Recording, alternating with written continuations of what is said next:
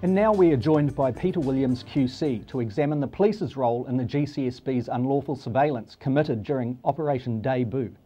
Uh, Mr. Peter Williams, welcome to the program. Sean, it's a privilege and a pleasure. Good to have you here.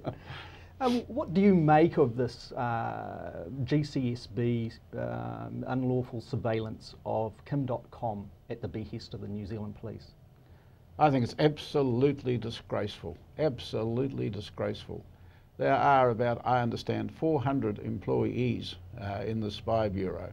They must have well known uh, that it's not within their jurisdiction to spy upon New Zealanders, New Zealand residents. They knew it was illegal. They have admitted it was illegal.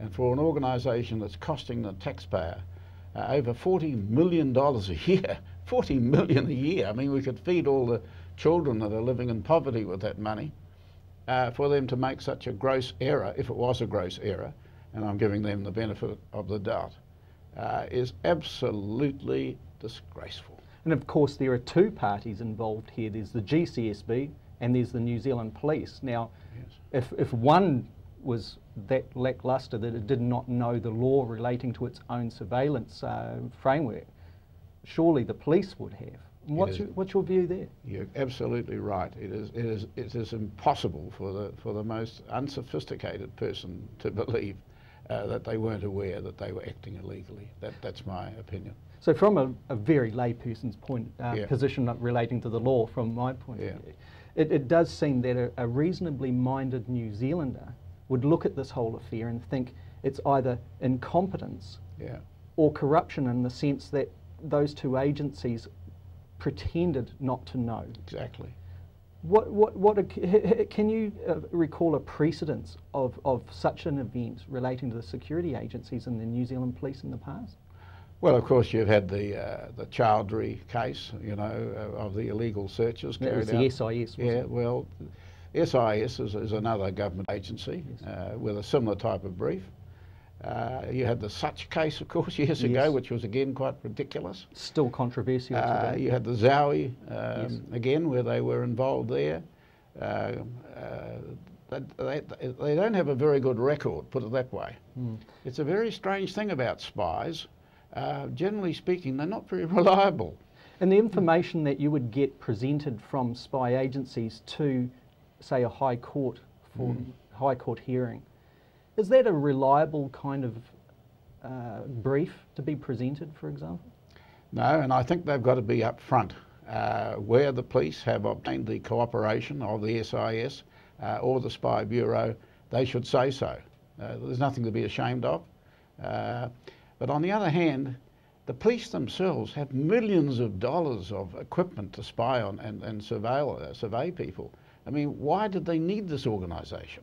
Yes, because the, the, police has got this special tactics group. Oh, it's absolutely. got the, the special investigations group. Groups. Yeah. It's got this group that we know now is uh, involved here with organised yeah. crime and financial yeah. crimes.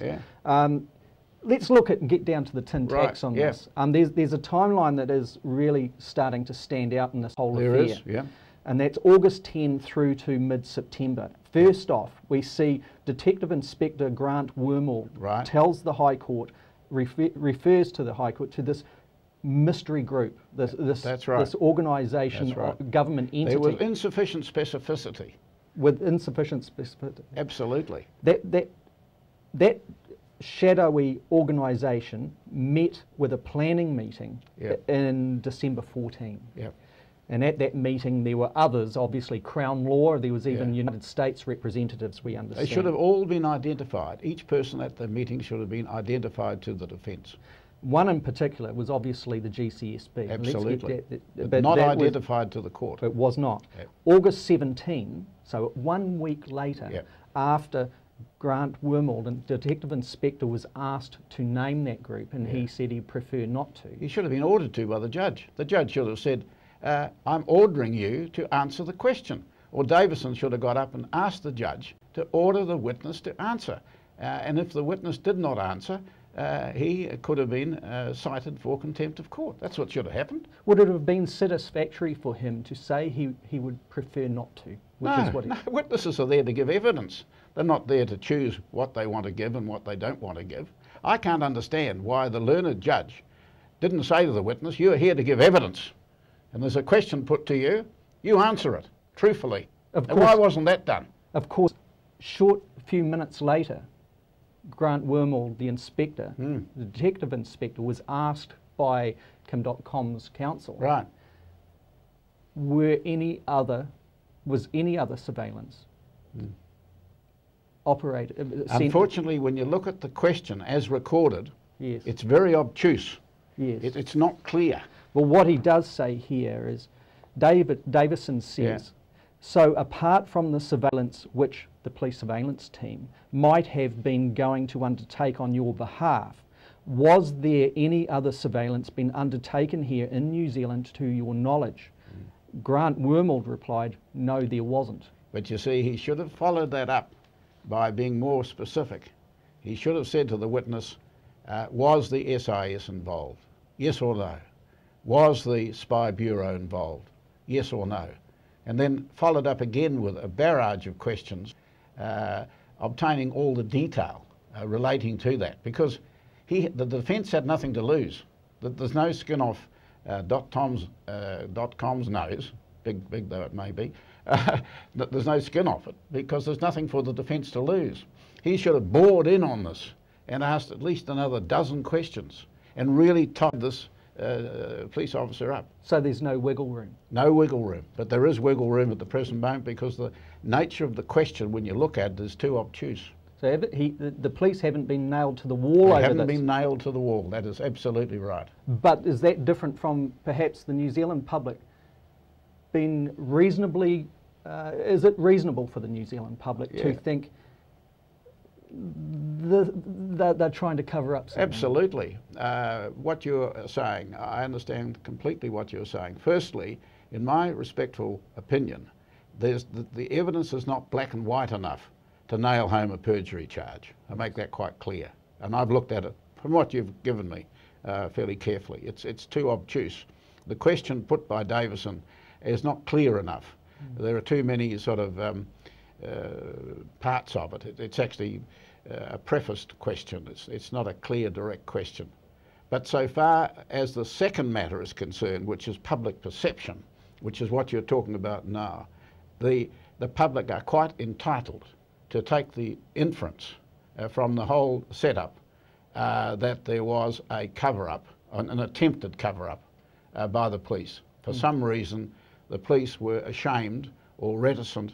They didn't want the public to know that the Spy Bureau had been spying on dot .com. So before we look in detail at this apparent potential cover-up, right. Grant Wormald, in his defence outside of the right. court apparatus, said he was replying when he said no, there wasn't. Yeah. Um, to the fact that no physical bugging had been taken had taken place by any other entity other right. than the police. Does that, do you believe, stack up as a reasonably well, you know, it is again, you see that, that the thing wasn't chiselled enough. Mm. It, there should have been dozens of questions put here. The thing should have been chiselled. Uh, and he's got these loopholes now, in, in my respectful opinion. Uh, the cross-examination should have been far more elaborate and far more detailed, far more specific. Uh, and the judge should have assisted. The judge should have ordered uh, that questions be answered. Mm. I, I, find it a fairly unsatisfactory uh, forensic exercise uh, when one looks at what you've supplied me with. well, let's look at this potential cover-up. So we know that that exchange took place in the High Court on August the 10th. Right.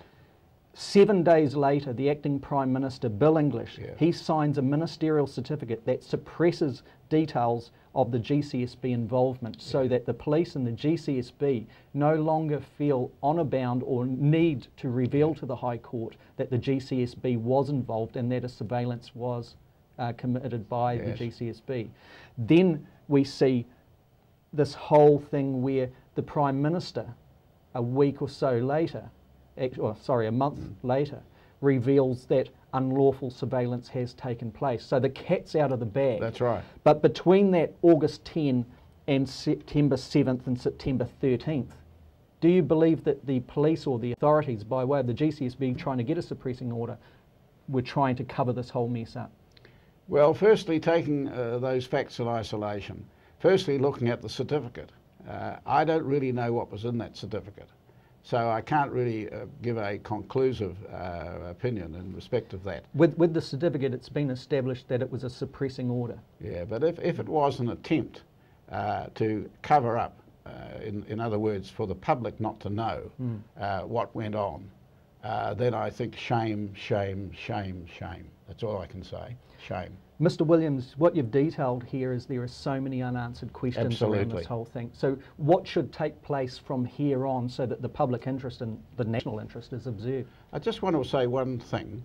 So far as the Spy Bureau uh, is concerned, uh, it is responsible to the Prime Minister. And the reason for that is that otherwise it's not transparent.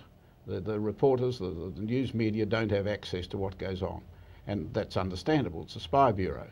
So we entrust the Prime Minister as being the most trusted person in New Zealand, whoever the Prime Minister is, to be the person responsible. Now, the, the director of the Spy Bureau, Mr Young, uh, and his cohorts uh, report uh, frequently to the uh, Prime Minister, which is how it should be, and they brief him all the time on what's going on. Uh, that should be taped. Those briefings should be taped. Uh, the only reason that the Prime Minister now uh, has cause to uh, be concerned is that one of the uh, personnel there took notes, and in those notes uh, was the briefing relating to dot com. Suddenly, the memory. Suddenly, suddenly the memory that the mm. Prime Minister's caught out because it, he, he, previously had said, you know, he wasn't briefed on it. Mm. But now there's the written document. But what we should have is a tape. All, because it's such a very important matter, uh, what, if, what if there was some sort of secret agreement going on with Russia or secret agreement going on with some Pacific island or we were supporting, say, a dictator in Fiji, all these things without the public knowledge. Uh, what a shocking thing that would be. And because this is such an, and we're spending 40 million a year on it, why shouldn't all those briefings between the Prime Minister and Mr Young and his cohorts all be taped? I mean, the court proceedings are all taped uh, all important functions uh, are, are, taped, so we've got records. Um, and accountability. And accountability. Mm. So that comes down to there are calls for independent inquiry Absolutely. into this whole affair, yep. right from yep. go to yep. end. What type of inquiry do you feel would satisfy the public interest and justice in this whole? It's got to be a constructive inquiry, not just an inquiry, a little whitewash thing. It's got to be a constructive inquiry with recommendations for reform because the spy bureaus in this country have a dreadful history. Again and again they're caught out in illegal, uh, we've cited some cases, but there are others as well. They've got a shocking, there are many who say we should abolish them completely. We shouldn't spend this money on them. I mean, basically we're supplying information to America. That's really what mm. these Waihopai base and so forth. I've acted for some of the people at Waihopai. Uh, you know, it's, it's, it's a huge organisation intercepting all sorts of things, but the information generally speaking, goes to America. That's really, we're, we're acting as agents for America on New Zealand soil. That's really what it comes to. In brief, who would be the kind of person that you think the well, public would be satisfied to lead? No one's going to take any notice of what I say, at any rate, but I would like to see a person of the status of Mr. Gould. Mr. Gould was a, uh, a, a, member of Parliament uh, in England. Uh, I understand now in New Zealand he's a chancellor of one of our universities. Uh, he writes articles from time to time uh, for the newspaper, and I read them, and I think they're so well put together. I'm one of his uh, disciples, I suppose. I've never met him, actually, but uh, he's obviously a person of high intellectual status. He's a person of international experience. Uh, he's been a member of parliament in England. Uh, he's obviously very intelligent, and I think he would be an ideal person to head such an inquiry. Mr. Peter Williams, thank you very much. Thank you very much. That was Peter Williams QC. And that's all for this week. We're back at the same time next week with more guests on the Bitson interview. Until then, take care and we'll see you soon.